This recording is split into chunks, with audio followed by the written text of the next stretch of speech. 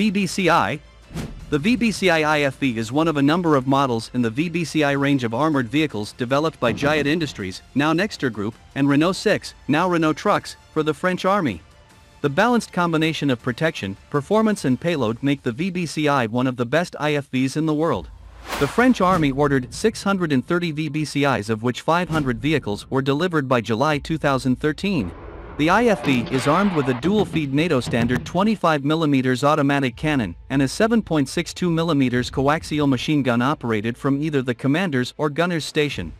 The aluminium alloy hull fitted with modular add-on armor offers protection against rocket-propelled grenades, EFPs, mines, and IEDs. The VBCI is also provided with chemical, biological, radiological and nuclear protection, and hard kill and soft kill protection. It can carry 11 personnel at a speed of 100 km per hour for a maximum range of 750 kilometers.